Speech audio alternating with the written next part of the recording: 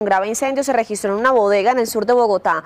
Varias viviendas resultaron afectadas. Allí está Juan Carlos Villani del lado de la gente. ¿Cuál es la situación, Juan? Catalina, buenos días. La saludo desde el barrio San Jorge. Esta es la localidad de Rafael Uribe Uribe en el sur de Bogotá. Un incendio de grandes proporciones que se registró en las últimas horas en esta parte de la ciudad. Un lugar, aquí funcionaba una bodega de reciclaje, está rodeado por viviendas que también resultaron bastante afectadas. Videos de ciudadanos registraron la magnitud de este incendio y las llamas alcanzaron por lo menos los 15 metros de altura. Me encuentro con una de las personas que vive a un lado de donde funcionaba esta bodega. Mi señora, bienvenida Noticias Caracol. ¿Fue muy grave lo que ustedes vivieron anoche? Sí, la verdad es que vivimos momentos angustiantes. En el interior de, la, de acá de la vivienda encontramos nueve personas, habían dos adultos mayores, habían dos menores de edad.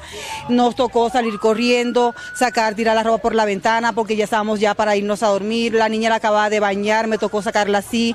Para sacar a la señora tuvo que entrar la policía, golpear. Yo entré gritándole a la gente.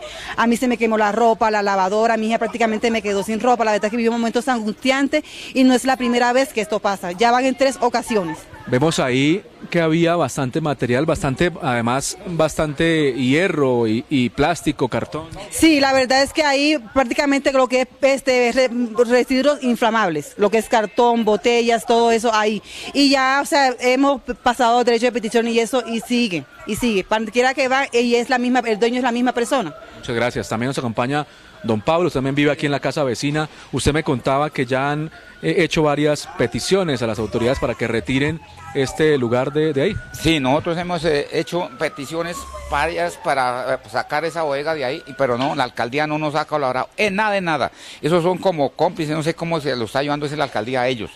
Entonces no, veamos qué vamos a hacer con esa vaina porque la alcaldía tendrá que respondernos con eso. Vemos muchas casas alrededor también afectadas. Muchas casas, muchas casas que se, se dañaron acá, los tejados y todo, sobre todo los tejados, y paredes que se cayeron. Don Pablo, muchas gracias. Pues mire, le voy a mostrar por último ya estas cuerdas que hay aquí. Estamos en un tercer piso. No sé si alcanzan a detallarlas. Aquí había ropa de los habitantes de esta vivienda que está a un lado del sitio que se incendió. Toda la ropa de las personas que viven aquí es una casa donde viven varias familias, pues resultó quemada. Ellos le piden a las autoridades locales o distritales que tomen cartas en el asunto para que se retire de una vez por todas, de una vez por todas, pues esta bodega de este lugar. Es la información por ahora en el sur de Bogotá. Juan Carlos Villani, Noticias Caracol.